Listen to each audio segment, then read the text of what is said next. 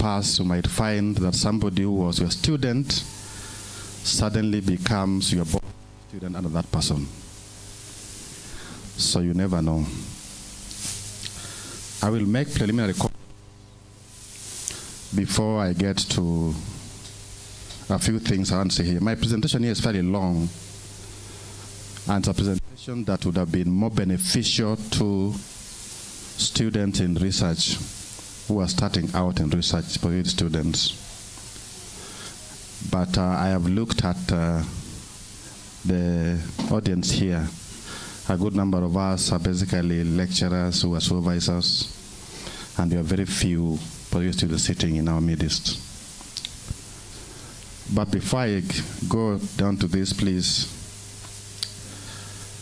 members of uh, the household of Rongo University, allow me to plead with you to love yourselves. No one outside here will love you more than you love yourselves. It is you to put Rongo University where Rongo is supposed to be, either through your students or through in the manner in which you transact your own social and intellectual business out there. The reason why I have been compelled to make that statement is that coming here this morning, this is my second time interacting with the Rongo University. Uh, coming here this morning, I had expected to see a bigger number in terms of audience than this for a conference of this character. I expect to see more students uh, than what I'm seeing. It means that uh, perhaps either we don't love what we are engaged in as a university, or we didn't do sufficient marketing, or the process began way too late, and therefore there was no proper mobilization for purpose of audience. Uh, in terms of uh, research, allow me to say this that the students that we have before us, I'm saying this because I have, it, I mean, in my judgment, what I'm seeing before me are people are into supervision students. But there's something we must remember first before I get to this. That those of us who in, are into the business of the business of supervising students, supervising students, let us always remember that uh, when a student is doing research under you as a supervisor, uh, something usually happens when they finally write their proposals or write their dissertations or thesis. And somewhere within the first few pages, there's what they call the name of the student right on the first page. And then somewhere in the pages down the side, they also have the name of the student up there and the supervisors. Which means all the names that are occurring in that document, indeed plus the defense panel on that document. In future, when something happens and there's interrogation of the document, it must be determined in terms of who supervised the student, who approved the document, and who sat hearing the defense of that document that finally led to the graduation of the students. So that when a student is writing a research document and your supervisor, one, remember that you are also part of the research and your reputation as a supervisor, as a researcher, is inextricably tied to that document for as long as that document is. The question is, when you're permitting such a document to proceed to defense or to produce to any form of interrogation, are you satisfied that adequate work or a work has been done on the document? Are you satisfied? I have been in situations in defense panels where students defending, and uh, you look at the document and you look at the colleagues that are in the document, and you wonder exactly whether indeed the fellow went through the document, or the fellows in the document went through the document. You look all the way from the title, you look all the way to the abstract, you go to the background information, you go to the objectives, you go all the way, and even to the methodology, and everywhere. And you're asking yourself, did, what, I mean, this document and the fellows that I'm seeing here as supervisors, did they really read the document? The question is, were the supervisors available for the students? Because we're living in also in a system where people really want to publish, want to have papers under themselves, want to supervise for the purposes of promotion. So they don't mind for as long as they can say, as supervise so and so and so, and the main requirement from promotion is three, four students to become senior, to become professor. They're only looking at the numbers, they're not looking at the quality of labor that goes into the research that's being presented. The other thing I was observed, a situation where a student is stands before a defense counsel or defense panel or Sanhedrin as it were, and the student is stuck, completely being unable to answer questions, and the advisors are quiet. If you have been to some of these civil jurisdictions, uh, there's what you call I don't know, they would call pre-defense. In a pre-defense, the supervisors have an opportunity to determine whether the document and the student arrive to proceed before the main Sanhedrin. So that you don't allow your student to proceed to go and embarrass you when you're quiet, the student is quiet, when the student is not ready for that exercise. So it's also, it's also a security measure that the student does not go on to the next level before the supervisors and the panel so considered as the pre-defense are satisfied that that is supposed to be the case.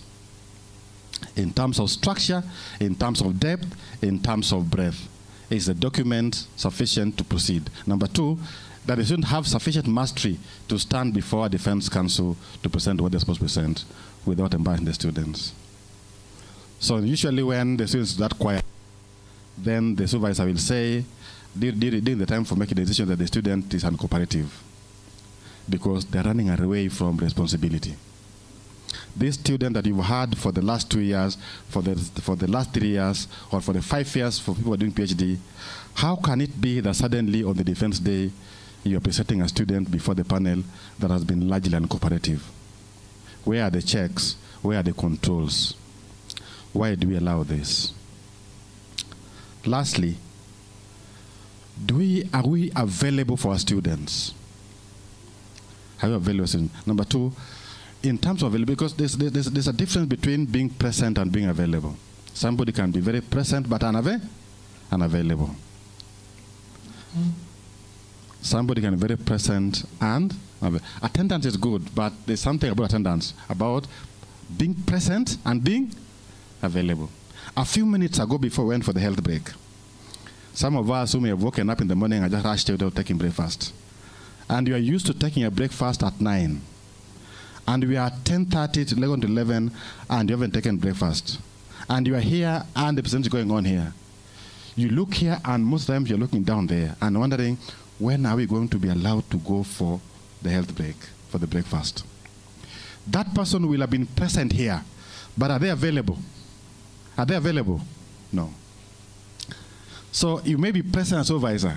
You're present in terms of your name being in a document. You're present in terms of being having been assigned to assess the, to be supervisor student.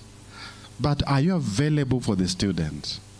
Are you are you doing the oversight role as supervisor that you're supposed to do? Are you really doing it? I plead with us, those of us who are into supervision, if you ever have a student under you as supervisor, please be available. If your name exists in a document for part supervision, be available. Number two, be friendly to the students. I said something uh, earlier, and I said, being a student is not leprosy. All of us sitting here we have come this far, we have come because of men and women who allowed us to use their shoulders to climb and arrive here. If you have been given an opportunity to stand on somebody's shoulder until you've been able to get this far, please, if time calls on you to provide a shelter for a student and you've agreed to that commitment, please be friendly and guide. Be a good mentor. That's the only way we are going to be able to sell Rongo. That's the only way we are going to have students in our departments. That's the only way you're going to have students in our programs. That's the only way. That's the only way. So that we don't become too mean in terms of time, we don't become too mean in terms of personality as we address the issues of vision. In this regard, this is, was meant to be a very long presentation, but I am only going to do two parts. I'm going to do the search process and uh, also take us through what are designed to be the components of a research proposal. Because I designed this thing here to be basically beneficial to our postgraduate students. But because we're all here as advisors, it also help in terms of knowing what goes where and what information to expect at what point. Please kindly give me the first, uh, next page, please, on research. There are several definitions that are given for what a research is. And research is basically meant to be able to seal an existing gap. Research basically means search for knowledge. But why would you want to search for that knowledge? We have several definitions here. All of them basically mean the same thing. The first one is being a cognitive system for applying different approaches and methods for answering questions during the learning process. It also be a search of knowledge as systematic investigation of facts about a phenomenon or process of interest. That's also research. It's also a systematic uh, investigative process employed to increase or revise knowledge by discovering facts. Something you might need to know something more about. A systematic investigation. Systematic basically means a logical flow of process that then leads to a process where conclusion where knowledge is increased or something revised for discovering facts.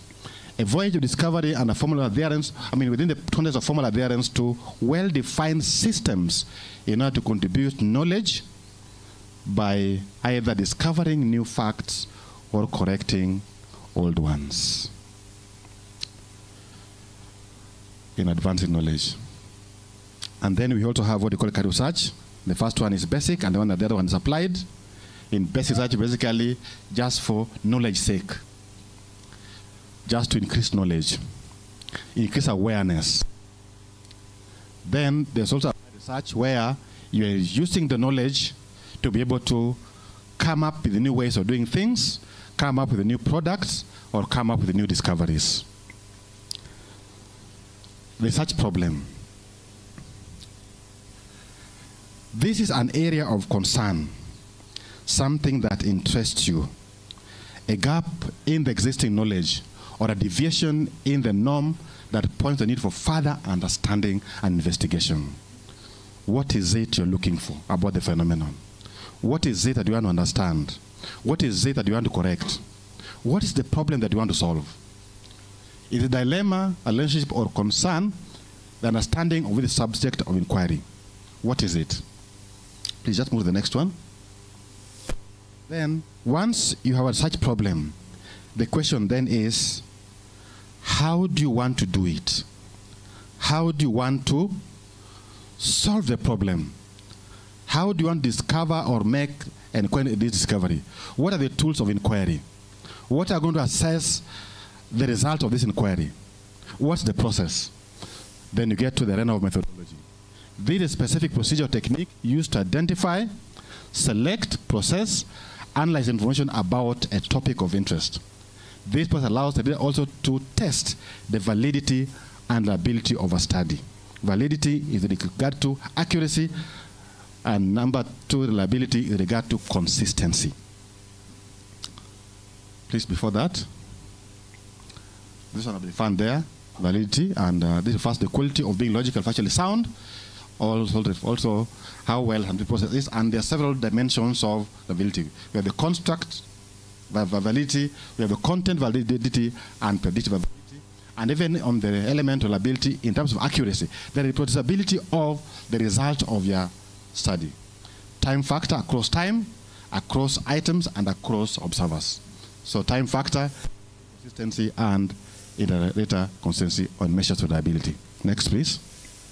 The purpose of research is to make discoveries, to understand things better, and in the long run, improve things or process. So the question is, when I engage in such or writing a such topic or such problem, to what extent, please before that, to what extent does it make new discoveries? To what extent does it lend into making understanding better? To what extent does it improve things or process? Next, please. Outputs of research. Our board for here, there could be many. One, it is covering truth about something.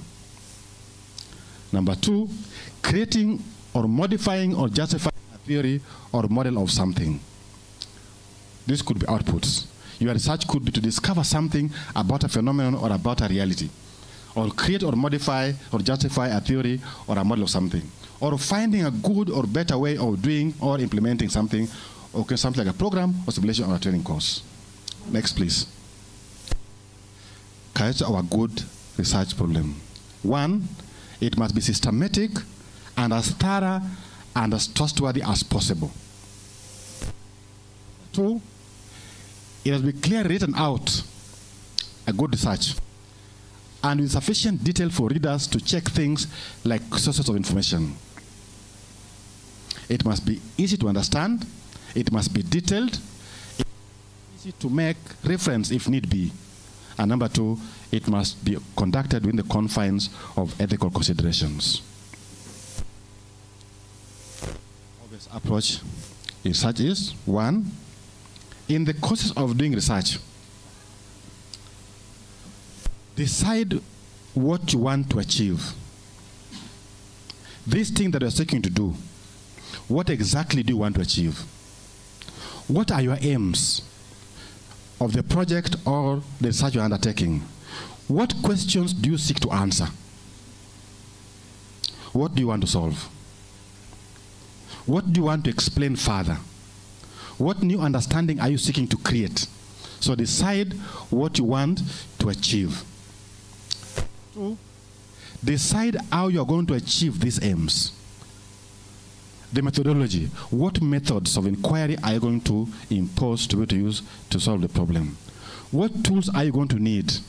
What resources are you going to need? What facilitation are you going to require? What is the budget for that process? How much time? How are you going to achieve it? Number three, do the research and analyze the results. State the conclusion recommendations. And finally, check if indeed what is set out to achieve has been achieved. Please, this last note one difficulty that sometimes you may not know exactly what you want to achieve at the outset. You may not know what you want to achieve at the outset. And that's exactly why you want to find out what the problem is. Number two, you may start out trying to solve a problem, but then in the course of doing literature review in terms of time to information, in terms of assembling tools and methodologies, you realize certain things don't work out, and you may need to change your mind. This calls for flexibility in defining problems. Next, please major steps or such I have outlined about six of them here. There could be more. Number one is problem or question identification. Identifying a problem. This is where the stage where most of us have got problems. In my university and many of the universities I've been to, as students go through coursework, and this is something that I most seen, I've seen, in most instances, students go through coursework without the lecturers telling them that at the end of the coursework there's going to be research. So the coursework is so general that when the coursework is concluded, the student doesn't know exactly how to proceed from the end of the coursework. So what usually happens is that the student turns the supervisor and the supervisor to give them problems. To give them problems. Personally, I don't give problems. I don't give any of my students problems, and I'll tell you why. Anytime you give a student a problem, the problem that you give a student, you are the vision carrier. The student doesn't know where, you, where this thing is headed. Which means you will carry this student on your back, never being able to walk until the time they're defending the defense, panel, defense room. Any small problem, the student will be turning to you. So how will they proceed? The student will write an abstract, come to you and ask you to check first. Then they come and write background information, they bring you to you to come and check. Then they do literature review, they come to bring you to come and check. Then they do the objectives, they bring you to come back and check. Because you are the one who knows where this thing is headed, not the student. So the student lacks ownership of the research. So until the end, basically, you are the one doing the research, and the student writes what is he doing the research. Because of giving problems to students. What I do is train my students on how to read a paper and identify a problem. That's what I do. I train my students on how to read a paper and see a gap. Because if the students are able to identify a problem, that you are the one to identify the problem for them, you will do it if the student survives and becomes your PhD student. You will do the pre-identification at the master's level and proceed to do the same at the PhD level. And this person here, when they finally then become lecturers like we now are, they are unable to supervise. They are not sufficiently creative to train their students on how to identify and come up with the areas of research. They can't. Because all through their lives, they have been weaned, they have been babysat into this matter, in this matter of problem identification. So please, I plead with us, those of us on the vision, that we help our students to see problems, to how to get problems. Read articles and journal articles until they're able to see a gap. Even if it is in your own thesis. Let the student read, understand, until they're able to see a problem. Don't give a problem to students unless you want to be the one studying and burn the midnight oil for the student as they sit on your back. Number one. If the assignment set some parameters, select a topic that stays within the range of those parameters. But even before this, number two is the most important. Select a topic that personally interests and you're passionate to learn more about it. Not the topic that the lecturer is passionate about. Not the topic that interests the supervisor. That the topic that the student is interested in, something they're passionate about, they don't really want to learn about. Because if these two things are lacking, this interest and passion, there will be no motivation to sustain the pressure of the research. When they get the point of collecting, they don't even know what to collect. When things become tough in the course of trying to do research, the student will retreat because the interest wasn't theirs, it was the professor or the supervisor who was interested. Select a topic for which you can find manageable or an amount of information. A topic where you know there is enough literature that you can fall back on should things become tough. Don't go into an environment, allow students to go in an environment where there is no literature or scant literature. Will be difficult, especially for the master students. Will be very difficult. For PhD, you can, you can allow, allow them try to swim. But for the masters, if a student selects a topic where there is no proper literature, and you're not able to guide supervisor where the literature will come from, because supervisor, you should also guide, I mean, be able to control the contours in terms of what you to read and even, even how to read and understand. What are you looking for in this publication? When you find a publication that could be of interest to the student, okay, it is that the responsibility of the supervisor also to be able to help the student get literature. That's also part of the training. Okay? Because I'm sure that most of us here are, in, are, are, are subscribed to various journals or the universe are subscribed. So if you're by virtue of your experience and exposure, you have, have access to more articles or many of them that the student has.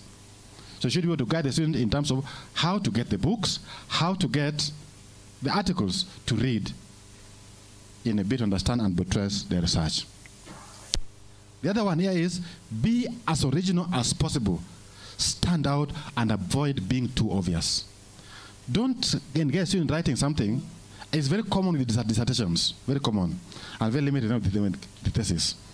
The student is doing something that at the end of the presentation, at the presentation, the audience says, but there's nothing new here. This, this, is, this, this has been all along. Okay? So avoid being too obvious. It is often important that you set a topic, a question that reflects exactly what you want to pursue. Please, on this part, during defense panels, I usually listen to students defend. And at the end, if I want to know if the student really understood what they were searching, I ask the question from this presentation, what is the singular most important communication that you want this panel to carry home as they leave the defense room? Then the student will flip again, poop, poop, poop, poop, poop, back to objectives and read for you the general objective. Then I'll tell you, that one I had read. I also read the specific objectives. As you do did this, among the many problems that you are solving, what is the singular most important agenda that as this panel lives here, you want them to carry home?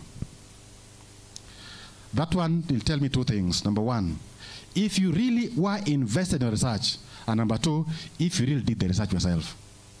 Because we're also living in, in a moment where there's a lot of academic writing happening around. Our defense panels are not being able to determine whether or not this document here was written for the students, to coach through the presentation, and are basically trying to present somebody else's work. So you should also has, learn to ask questions in defense rooms that also are able to distinguish or discriminate students who are copying from other people having their self written for them or they really did the research. And that will happen if the student sat properly well in step one. If somebody else identified the problem for them, that kind of thing is very easy to catch, even in this era of chat GPT. even this ChatGPT. It is still possible because we can challenge for all you need to do in ChatGPT is to put a topic of such and then generate the entire thing and they copy and they give it to you. And because you also look at the language, you also look at everything else and you're impressed. And you're asking very easy questions, questions that border on format, that border on grammar, that border on pagination, that border on font style, that border on so many other things. You are not able to catch a student that's basically represents somebody else's work or plagiarizing. And so we produce so many people out here having master PhDs that they don't know nothing about because they know how the defense is going to play out. Next, please, step two. Planning the research in terms of information needed, materials needed, and the evaluation of those sources. Plan the research. How are you going to do it? Which articles are going to require? Whom do you need to consult? What tools are you going to require here? What such design is your research going to take? Is it going to be a qualitative research? Is it going to be a quantitative research? Or a mixed design kind of research? Is it going to be a case study kind of research?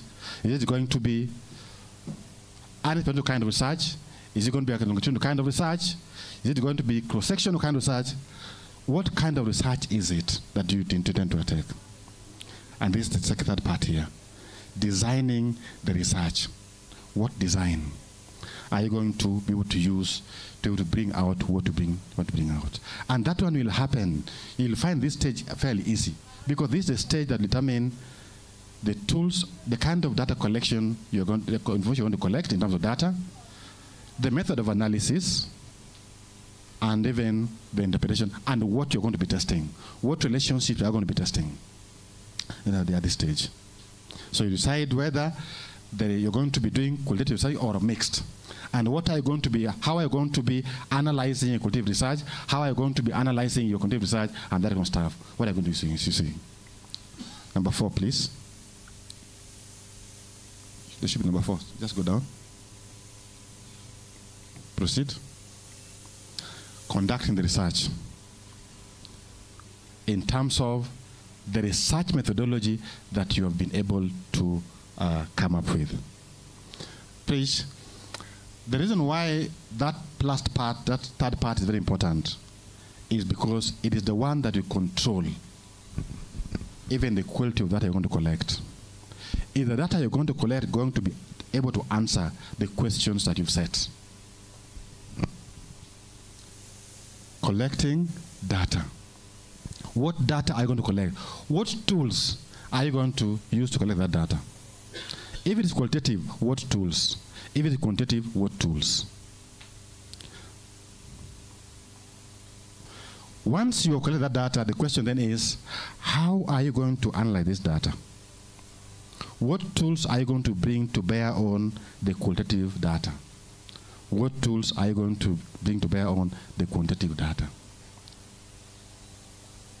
And this part, I also encourage that if you're a student that's taking research, and such that at some point you're going to have to analyze data, please don't just surrender the process of analyzing data to a third party and all you're waiting for are results. Whether it is SPSS, whether it is R, whether it is Stata, whether it is eViews, whether it is Minitab, whichever platform it is, don't just surrender the process of to somebody else. And all you're waiting for are results in terms of the significance and whether you want to reject questions or not. That's all you're waiting for. And when questions are not be, questions begin to be asked around the data analysis, you are able to proceed because you are not there when the coding was being done. You're not there when the relationship being tested. All you have are the results and perhaps the interpretations. And sometimes if that happens, you can't even discuss the data. In most of our documents, that I've seen, you find our students reports very well on the data analysis results, reporting, but they are unable to discuss the results. There's a difference between results reporting and discussing the results. What do the results mean in the context of the objectives that were set? What results mean? What do they say about the phenomenon? So please, I say and I recommend that let us encourage our students and those of us who that you do not surrender the data collection, I mean, the data, uh, data collection, of course, and even the process of data analysis without you being able to understand the why of what was done. What tests were done? Why was that test necessary? What did do with the result of that test communicate in the context of what you are pursuing? Then on five, data interpretation. Although this one is to do with uh, the results of uh, step number four. And then finally, reporting what you have been able to gather from the process. These are the six critical steps in the search process. Next, please. Last part here is uh, basically to do the components of a search proposal. I'll, I'll move here very fast. And what is a search proposal? What I have here is in the, mostly in the context of, of academic research proposal, because there could all manner of proposals. Okay? A search proposal basically is a statement of intent. What do you want what do you propose to do? What do you propose to do? Why do you want to do it? How do you want to do it? And what do the results mean? So such proposal is a plan showing a step-by-step description of how a proposed search will be undertaken. It reflects on such understanding of the problem and ability to collect, to conduct the research. It's a document that tells the department or tell the supervisor, whoever it is, whether you've understood the area properly they want to search in, and number two, whether you also have the capacity to do it. Because sometimes a student presents something before you, they're talking about something, telling, go and put something down. And all they want to do is always come before you orally and talk to you. It is this document that when presented before you to review it, you are able to determine well, this student has gathered nothing much about this area, are basically just doing what has been done, this document. It will also help you to understand or know whether the student has got the capacity in terms of even, uh, in, uh, even cost preparedness of undertaking the study they're proposing to undertake. Otherwise, you'll have a student before you who will never finish. Because they took something that was too bigger than them, beyond their capacity. Why a such proposal? It gives an opportunity to think through your project carefully and clarify and define what you want to search. That's the opportunity. Number two, provides an outline and a guide and guides you through the research process, especially individually. You know what you're going to be doing, how you're going to be doing it, the tool you're going to be doing, and what you're supposed to be doing in, from step to step. Number three is so less supervisor and department know what you would like to search and how to plan to go about. This part A is very important, and the last part. In this part, this last two parts, and the last part, let the department choose an supervisor that helps the department or even members of the faculty determine who is fit to supervise this student. Please, I discourage a situation where people just have their names of on such documents just because they want promotion. I've addressed myself to that one before. Because if you have an appropriate supervisor, you'll never finish. You'll never finish. And it's also very easy to pick out a supervisor who did not actually participate in the research of the student during defense. During defense. It's also very, very, very, also very easy to pick out such of supervisors. One, when the student is stuck and the chair of defense is asking the panel, I mean the, I mean the one of the supervisors to comment on where the is stuck, they'll never say anything. I was in university during the day when I took to my PhD, where during the defense, the student sits in the middle, facing the entire audience, one supervisor on the left and that supervisor in the, on the right. What does it indicate? It means all the guys who are sitting there, the three of them, are responsible for the, the, out, the research and the outcomes thereof. And when this student, with the principal investigator in this matter, gets stuck, it's expected that one of the members of the panel here should be able to comment or something. The students will try as much as they can, but these fellows here are expected also to provide clarity where the clarity is sought. So if you don't participate in the process, how will you? How will you?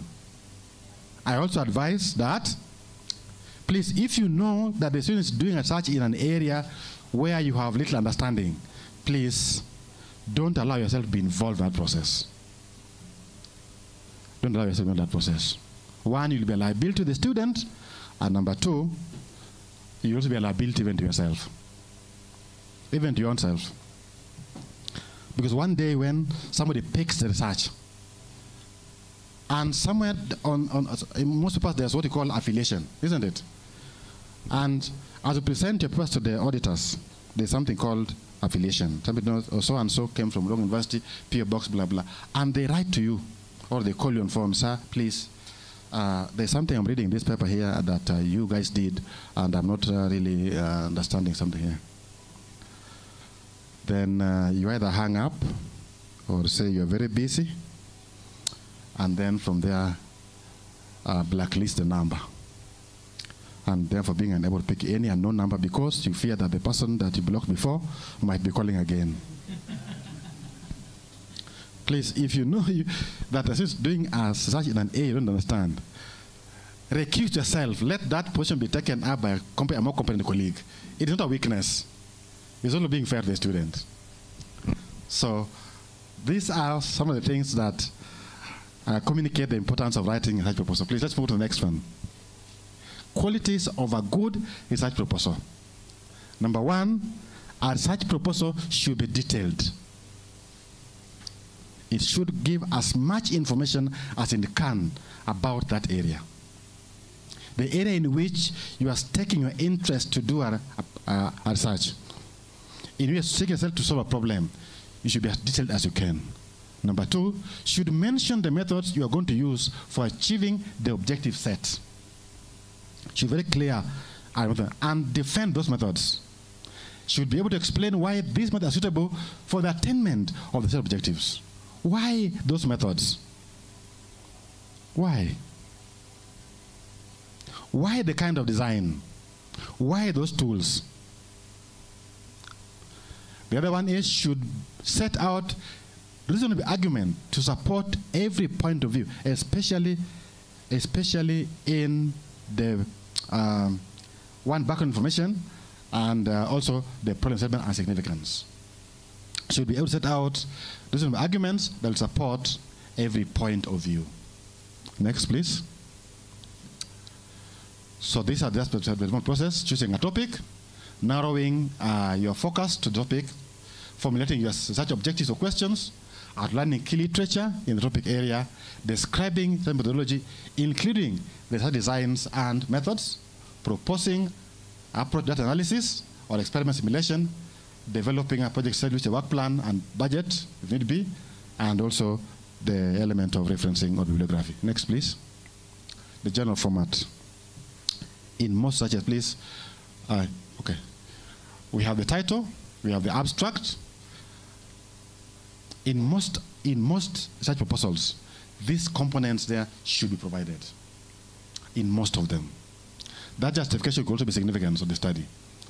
So we have the title, we have the abstract, we have the introduction, which carries the objectives, the general objectives, the specific objectives, the problem statement and justification, literature review, methodology, ethical considerations, limitation constraints, work plan or chart, budget, and references.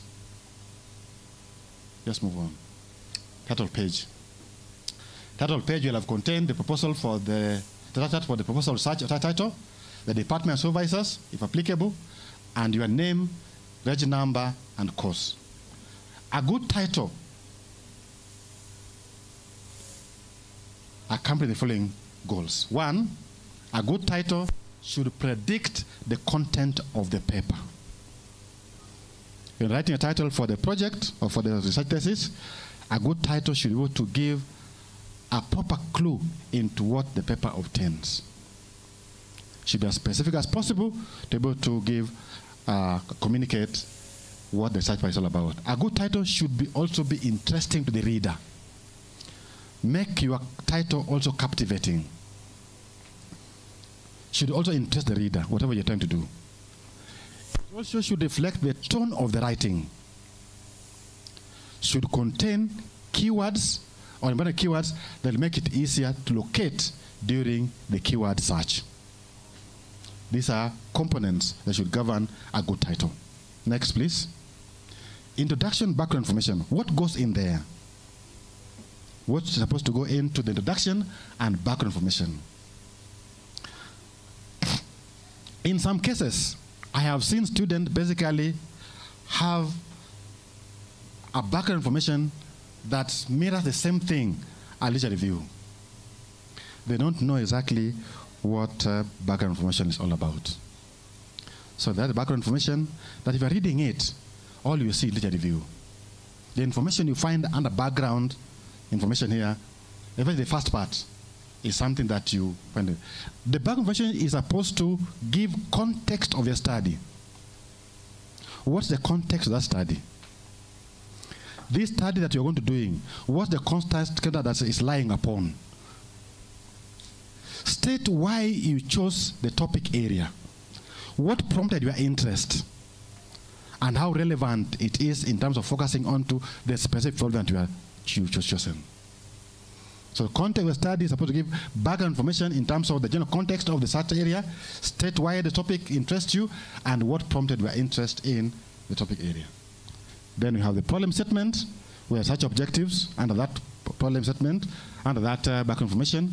We have justification such questions where applicable, and uh, hypothesis were also applicable. I say where applicable because in some cases, some situations, there are institutions or organizations require that when writing a such proposal, then once you write the objectives, you don't need such questions. Or once you have such questions, you need the objectives. Or they'll be expressing the such objectives in terms of questions. And depending on whether it's actually require testing hypothesis or not, then you may have a hypothesis at the back information. Next, please in abstract. An abstract is a condensed version of a longer piece of writing that highlights major points covered and concisely describe the content and scope of the writing. And review the writing contents in short form. The importance of an abstract.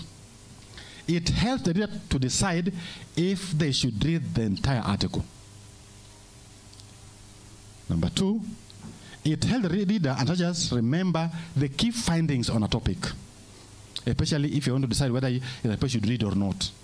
If you have a, going through literature review and you want to decide which papers do I read, which do I not read, is this the point? So research, uh, an abstract should be in such a way that it should be headed to uh, decide whether they read the topic, the article, or help the reader, such as remember the key findings of a topic, helps the reader understand the text by outlining key points to read in the full document. And number the last one is for indexing for quick recovery and cross-referencing. Key element of an abstract. When an abstract has been written, especially this one now for our supervisors, having given that part of the importance of an abstract, what then should go into it? Because we agree that an abstract is a condensed version of the entire article. An abstract should have a background. That content you're talking about. A simple opening sentence or two, placing the work in context. In most documents I've seen, they just start, this work, the project aims. No context. They go straight to the objectives. The project aims or the search was to do blah, blah, blah. The aim of this was blah, blah, without background information. There should be a sentence or two or a communication providing the context or the background of your research. Number two is one or two sentences giving the purpose of the work. That one should be resident in that same abstract. The other thing that should be should be easily picked out from that abstract is the methods that have been used to do what has been done, or that will be used if a such proposal. Few is done here for a thesis and will be for a proposal. Okay? So the methods that will be used to achieve or that was used to achieve what been achieved. The number, the other one is the results. The results for a thesis, but expected results for a proposal. What do you anticipate? What do you foresee?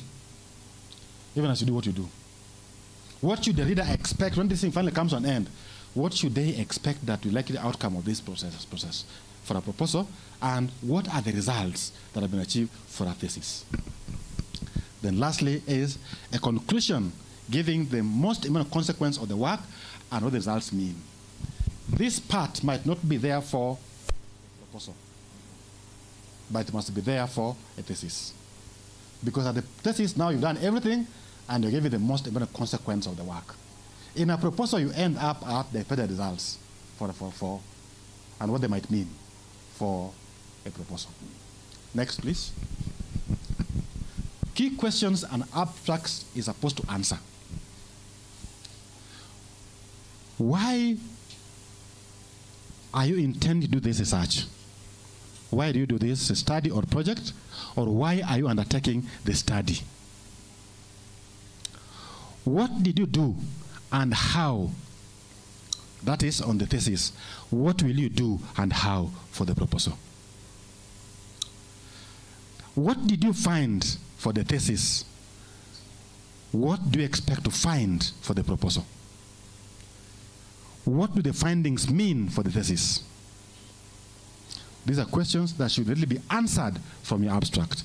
And that's why an abstract determines whether the person read the abstract should proceed to the main article or not. Depending on how, if you find your the article not attracting enough leadership, usually the culprit is the abstract. The document can be very important, but the signboard that shows people that they should be reading it, what you market it, has not marketed sufficiently. So people, people keep on passing it. Even though it contains very good information, some that people should read, but we don't go into it because the abstract phase has not been handled properly. Next, please. Significance or justification of the study. This responds to the following questions. When reading significance or justification of student work, what questions are justification supposed to respond to? What do you look for in the justification? Why is the research work important? Why? What are the implications of not doing it? If you don't do it, what then would happen? How does it link to other knowledge? And this should show in the project significant to other body of knowledge. And lastly, why is it important to understanding of the world? Justification. When the first uh, speaker was presenting here, he talked about things like Vision 2030, Vision 2063, as, uh, as the what? SDGs and what have you, isn't it? How does it, is it important to understanding of the world in the context of those uh, issues? Last, the other one is problem statement. A problem statement is used in research as a claim that outlines the problem addressed by the study. The same problem briefly addresses the question, what is the problem that this research seeks to address? The ultimate goal of such problem is to transform from problem into a targeted, well-defined one that can be resolved through focused research and careful decision making. Please move to the next one. Format of a problem statement. When writing a problem statement, how should it be written? In what format? How should it flow? Number one, part A is the ideal. Describe a desired goal or ideal situation. Explain how things should be.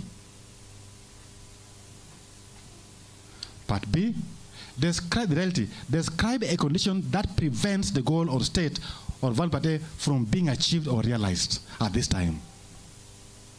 And that's where the problem lies. What is it that prevents what you're trying to do from achieving the first the, that ideal? Then the consequences. Identify the way you propose to move the reality to the ideal, solving the problem. Identify way you propose to improve the condition and move it closer to the goal or the ideal. So, what's required, what is, and how you're moving what is to what is required, solving the problem. Next, please.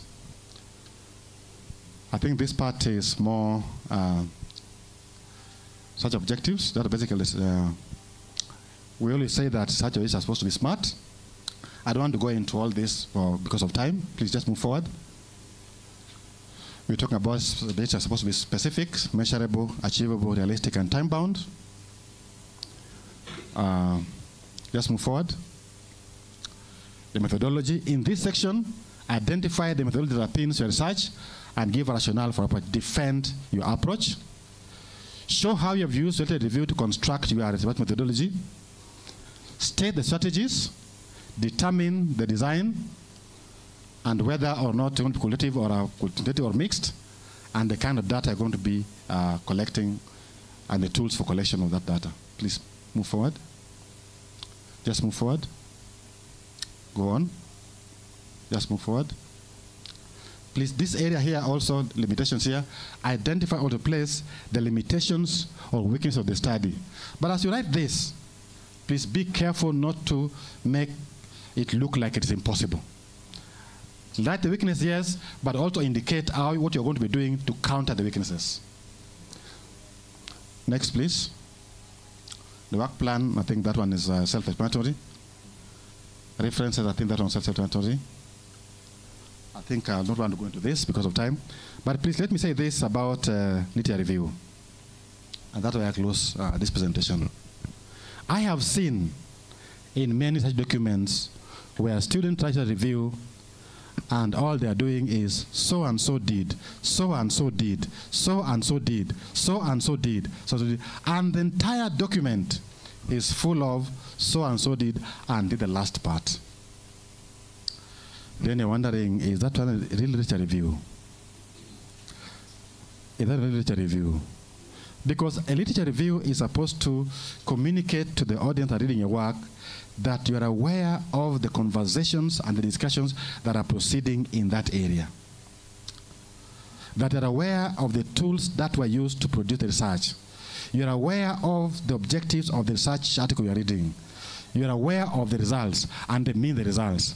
And then communicate your point of agreement, disagreement, or departure. And where your problem now comes in. Because you write, you also write with a view to creating the existing gap, revealing the existing gap from the documents, so that it places your research. Your research. But when you're writing so and so did, so and so did, where does how do you how do you place your problem? Because this review is supposed to indicate who did what, how did they do it, what assumptions might they have made, what results were obtained, where do you agree, where don't you agree, and where does a problem lie? With each and every article you've read, it's not so and so did this, got results, blah, stop, move to the next one. Move, see this one, got results, blah, blah, got results, this. Do you agree the results? If you don't agree, why? If some assumptions were made in your own research, which of the assumptions are you lifting and why? So that your literature review is not supposed to be just so and so did, so and so did, so and so did. So when you're reading work that have been done by our students, let us be careful not to end up with a situation where we are only doing so and so, so and so did. Ask. I always ask students. I always ask students that this work you present before us, of these references at the back, which author's work mainly influenced your work? What were his methods? And how distinctly different are his methods from yours? Because I also help me to know whether the works that have been cited here, this fellow actually read them or not. Because people are fond of having a long list of references that they haven't read. All they did was go to Google Scholar, plug them, and paste. They want. I will pick a few and ask you, in so and so's work in page this, what were the conversations? What were the results? What were the methods? Do you agree or don't agree? If you don't agree, why? That necessitates you to move to what you're trying to do. The other bit about it is the currency of the references. If you're doing a search in 2024, and the latest, latest reference in the document is 2019, are you trying to convince the panel that uh, from 2019 up to 2024, no one has discussed or done anything in that area? Or is it that you didn't canvass literature enough? So let us also insist on currency of references, currency of literature review. I think I'll stop there.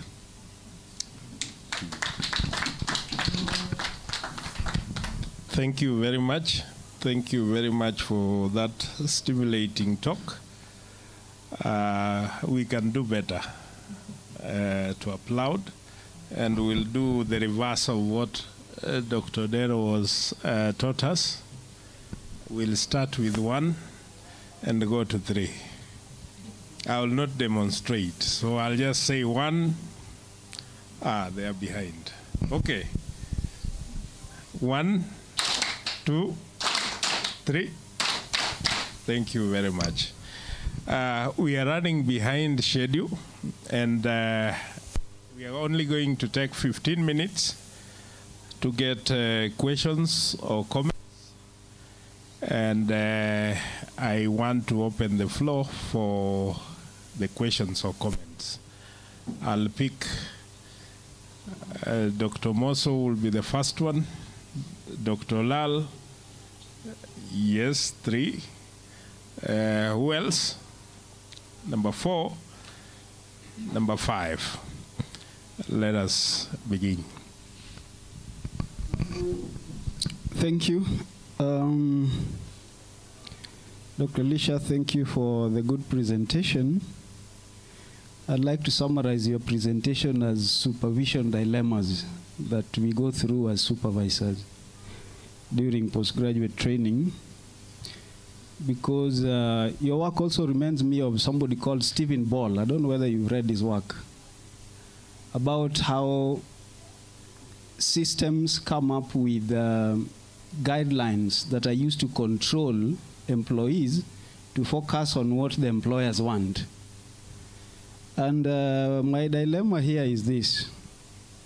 I remember I've referred a student, two students, one in the UK is almost finishing PhD, another one to Belgium. The student applied using a proposal. He was admitted, right? Given a scholarship, but the university told him that unfortunately you qualify, but we can't take you in because we don't have a supervisor who is qualified in your topic of what? Supervision. Now, let's come to our context. Now, in our context, when we are given these guidelines that are used to control us so that we focus on promotion, how do we move away from this? Because these systems sometimes are so powerful that even us as supervisors, we are not able to run away from them. And therefore, in most cases, you'll find lecturers going to supervise students in topics that they don't understand. It's an era of competition. And it's not only for us. Even students are in competition. They come to university for postgraduate training, not to gain knowledge, but for promotion. And that is why sometimes they will not engage in this elaborate exercise of analyzing data themselves, but they'll go to a vendor and then bring the results. It's an era of competition. And we are being controlled and we are required to work with this. My question is um, because I think if we are able to answer this question, then we are able to, to improve postgraduate training and the quality of students that we produce. In your own opinion, how can we uh, have a safeguard that shifts our focus from these uh, systems of control. When I say systems of control, I think you know what I mean. The guidelines that you must supervise this number of students to be promoted. Those are systems of control. And now our hands are tied. We have to supervise anybody, anywhere in order to be promoted. Thank you.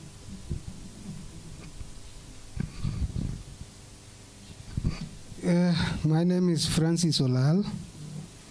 Thank you very much. And uh, Dr. Muso, you have, uh, you have even taken all my questions because what you have said is exactly what I wanted to say, but uh, that is very good. Uh, what uh, I wanted also to just to add on what Dr. Muso has said is I wish we had what the presenter said, in fact, he lamented when he was starting that he wished there were students here. Exactly that. I also wished there were students here. And uh, in fact, um, I have a case, uh, a practical case, where Musa has uh, talked when I was doing my master's. I chose a topic, but because people wanted, uh, lecturers wanted somebody they could uh, supervise, I found supervisors who were not knowledgeable on what I was doing. And uh, in other uh, words, it is advantageous to the student and sometimes also disadvantageous. It made me go very fast because I was just writing, taking to them, and they, uh, they are there waiting for my explanation. Oh, okay, why did you do this? Oh, this is, oh, this is how you do these things. Yeah, it's very good, very good. Very. So, so, so I did it very fast. Uh, and people wondered how I graduated in a record, uh, record two years for masters in Moi University, which they said was uh, unbelievable. Now, uh, I wanted to ask you questions. When you were presenting and you gave uh, steps of uh, what you expect on a proposal and a thesis up to, up to conclusion. Uh, I didn't see you putting recommendation. Is it a must? Or it is not a must? Again, you talked of limitations. Uh, he said if you put so much of limitation, they can ask you, how will you do this? What about if you decide not to put limitations? Thank you. The, the next batch of questions go directly to the questions. We are running behind schedule. Uh, yes, then Nik Nakitari and then Professor Yes, thank you. My name is Calvin Ogo, a student. Uh, my question, I have related to what Dr. Lalu is uh, uh, talked about. You are a student and uh, you've applied for a to be a postgraduate student in a sociology, and uh, in that department there is a, a call for paper or a call for proposal, and this this uh, proposal is not directly linked to your interest, and uh, the department is is now insisting that you must align your align your work to this particular proposal. What am I supposed to do as a student? Then, uh, then another question is uh, how current are the reference supposed to be? Because you, in your last uh, statement, you talk about uh, uh, re references should be current. How current are they supposed to be?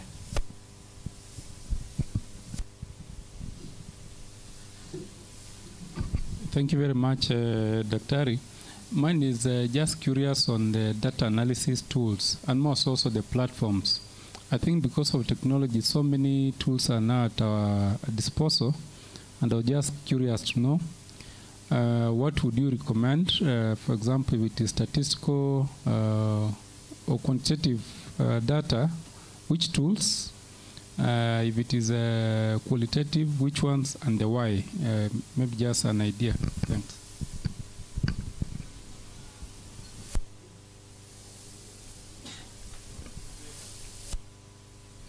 Thank you, uh, Dr. This is the area that has a lot of argument, and I wish as a conference we would have come up with something that would help some of our students who are here. Otherwise, some of the presentation would also distort. Uh, me, I have my students next to me. So if the students are not here, then those supervisors who claim to be supervisors would have worked with their students because it was a conference which was announced. So marketing was done enough. Now, um, the presenter, uh, I would want you to help us understand justification and significant because it seems to be a little bit. And you know, when we go back, our students are saying now in the conference, we, and there were many scholars, they said justification and significant uh, are uh, okay, stroke, significant or justification. So help us so that when we go back, we are not going to start having distorted information objectives and, question, and research questions.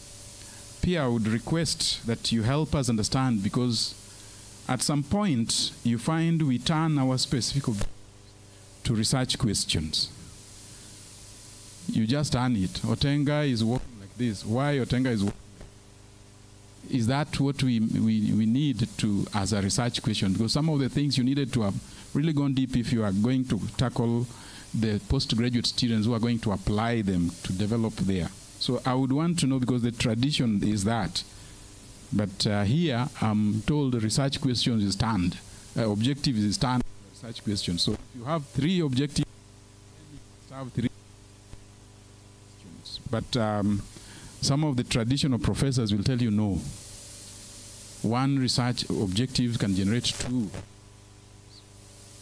Then the other thing that I would want you also to help us. I, I wanted you to limit just to one I because didn't of see. time. I didn't see. You know, he had a uh, um, a, a frame. So that frame must be a frame that we are taking home. I think at the end of that, this is the only key thing that we'd have gone home with. We'd agreed so that we can also review what we have. Theoretical and conceptual framework. I also did not see in your in your in your format. As social scientists, we believe on theoretical.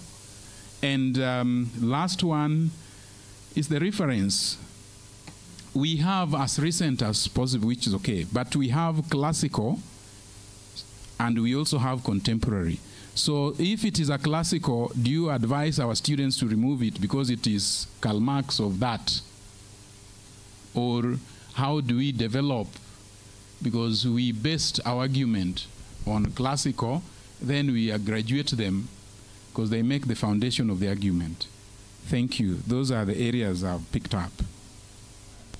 I'm going to stop the questions, unfortunately, because of time. But uh, I will request they are noted down. Uh, let uh, Daktari respond, and then uh, we see if there's time. I don't know if I can give you this. It's sounding better than. I was sitting, but let me have this privilege once again. I'm standing before you. uh, I have about five questions to respond to, and I'll do my best to move as fast as I can so that we redeem on time. The first question was on systems um, control. I am aware that, uh, especially the current queer regulations, are extremely demanding. People really want to get promoted, people want to stagnate.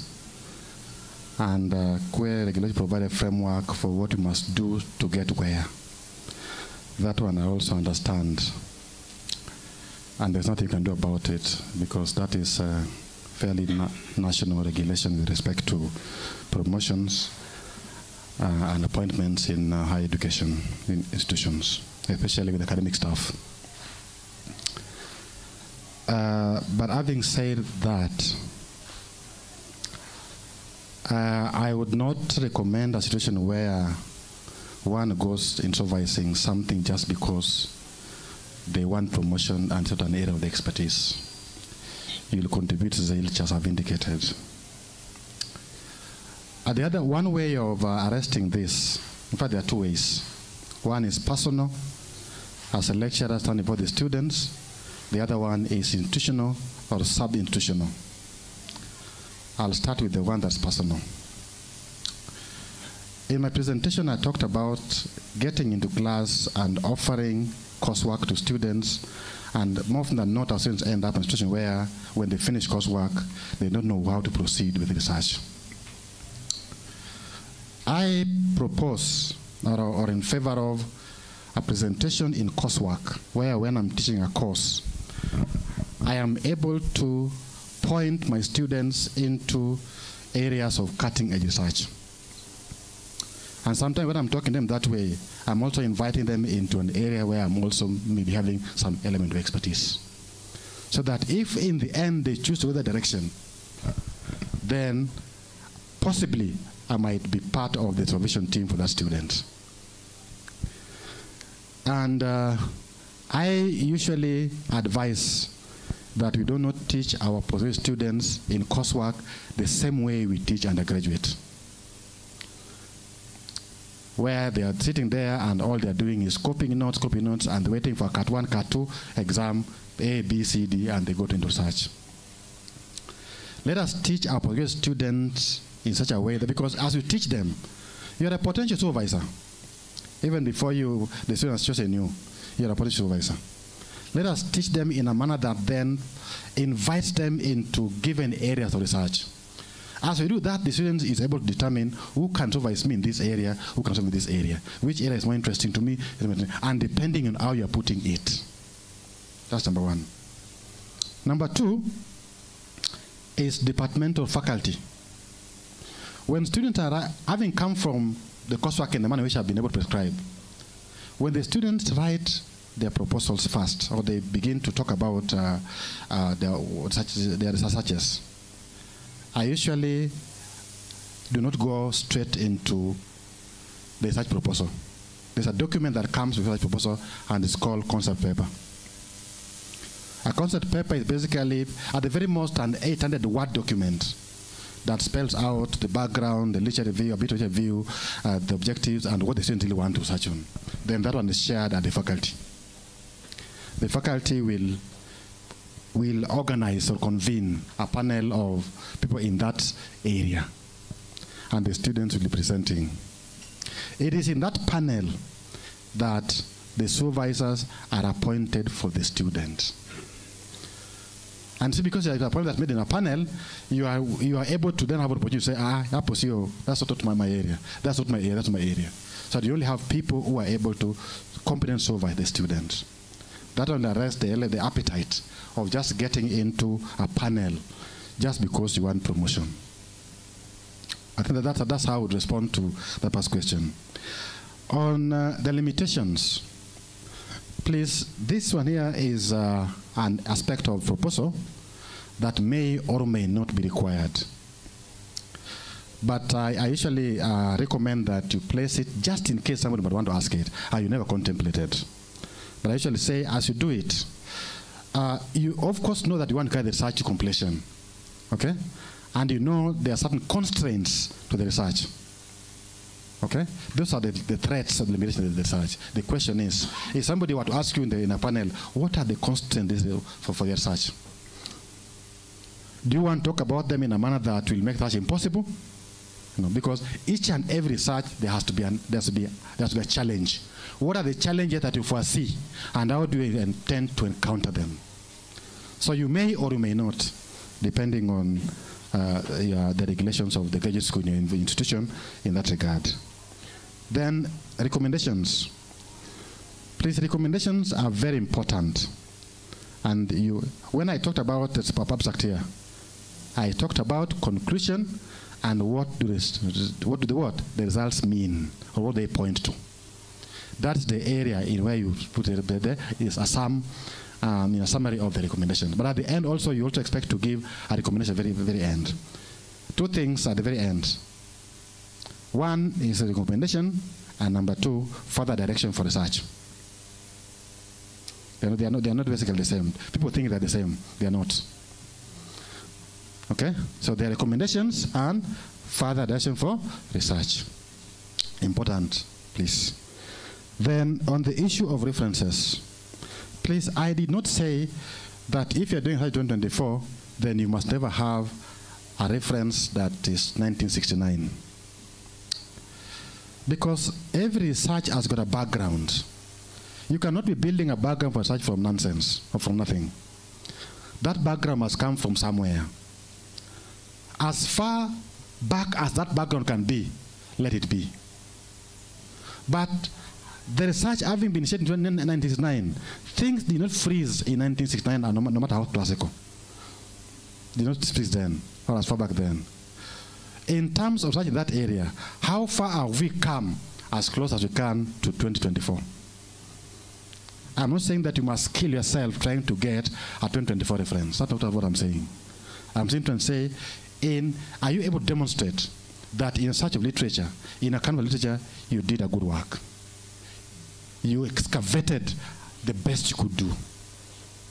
Because somebody could come up in a defense and ask you, there is this paper by so and so, 2022 to 2023. Paper that's so much relevant to the area you're studying. And asking questions from there. And you don't know. You don't know. You are saying you don't know. Yet you have references and saying your references are very current.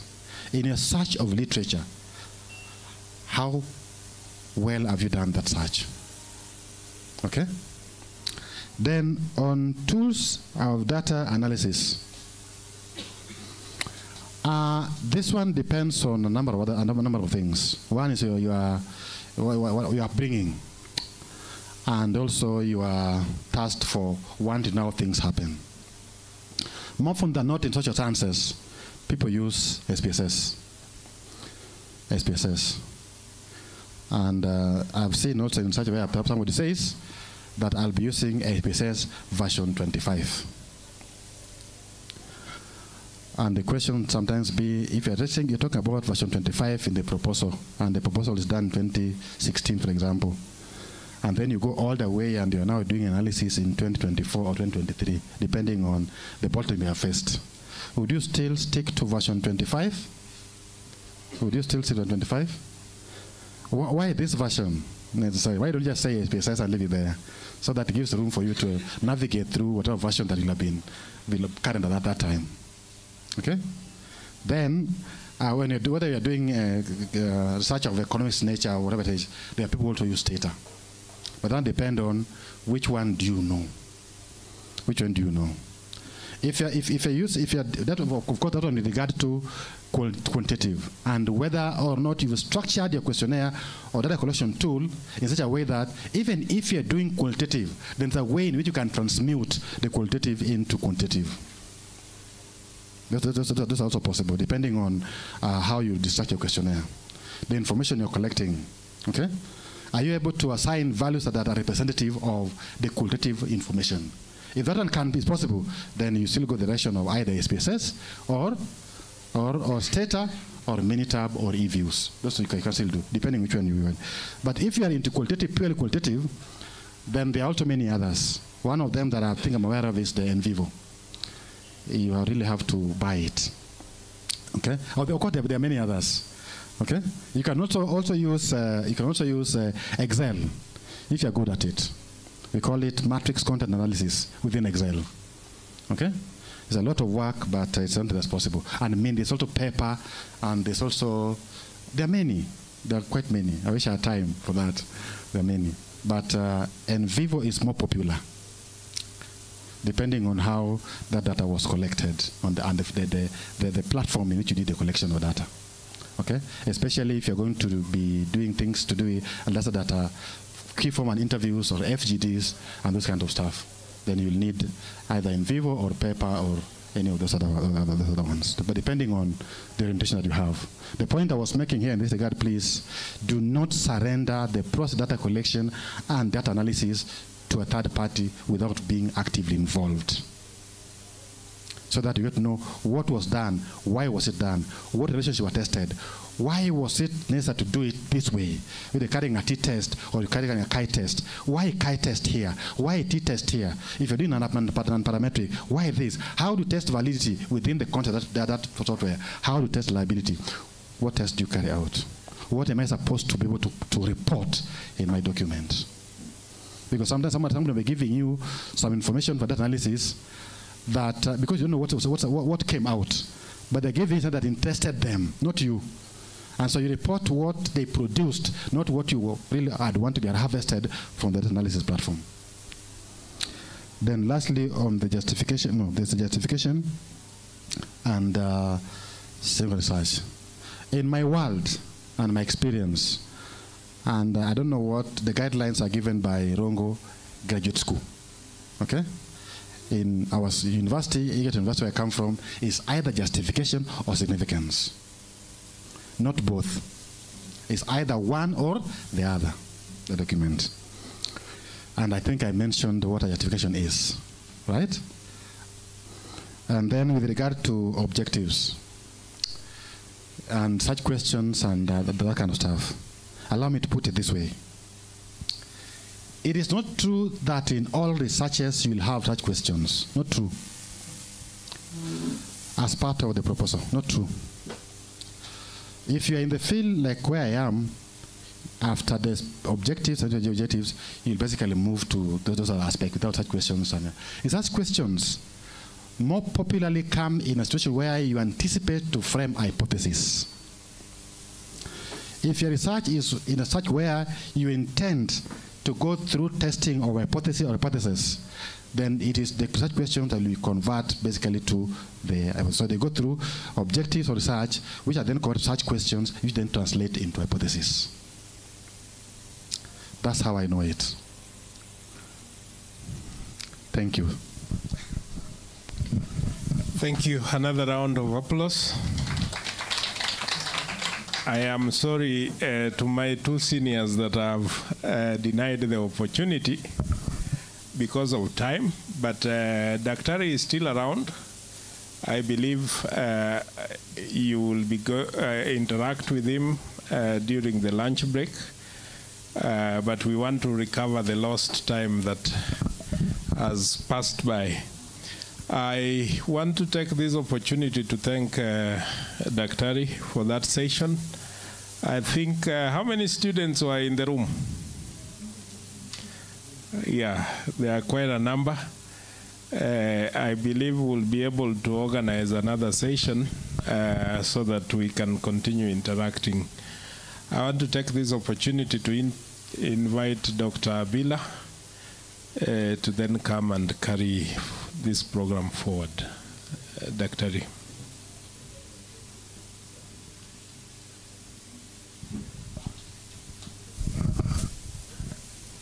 Thank you. Uh, time has moved, and uh, we are going to the next session. Um, we shall be moving to going for lunch, and after lunch, we shall split into two rooms for presentations. Uh, if you look at the program, we have hall, hall A and hall B. This is going to be hall A. Hall B will be the rumor, rumor hall. As you move out, there is uh, another hall opposite. It's called rumor. So uh, the following uh, groups will be in uh, hall, hall, hall A, uh, presentation one to six will be in hall A here. Then presentation uh, uh, 7 to 12 in this hall room, the next door.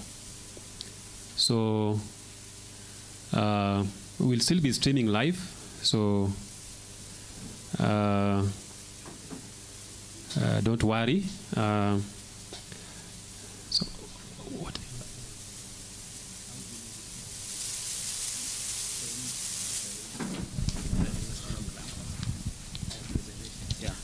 Yeah, so if you go to the successive pages,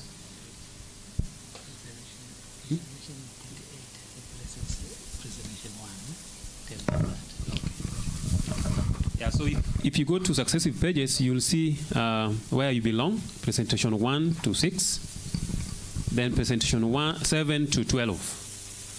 So check carefully and uh, find where you fit. Uh, presentation 1 will be, will be replaced by presentation 36.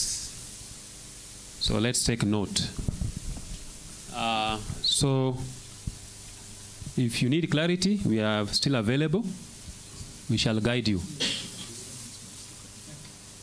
There are other announcements here.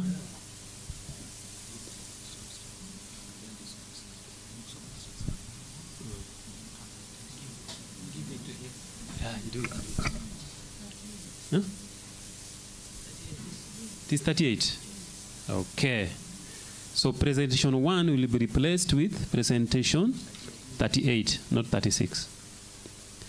Uh, the other announcement to be made, then we'll break for lunch. Dr. Mondi.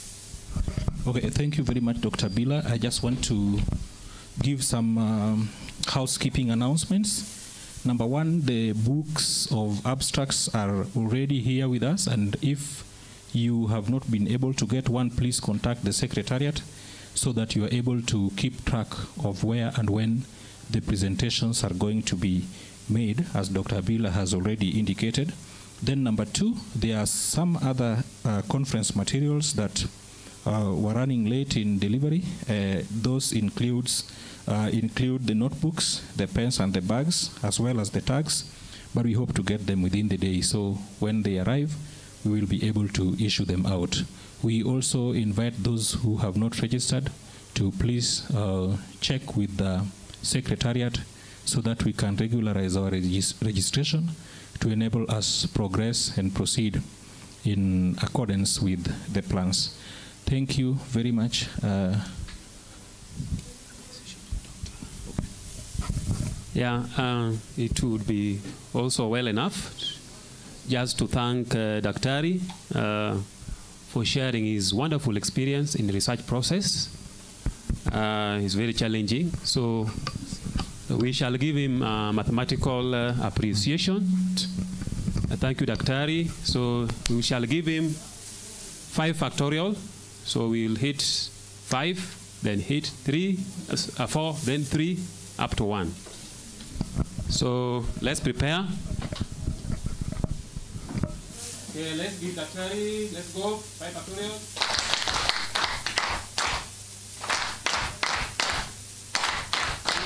One, two, one. Thank you.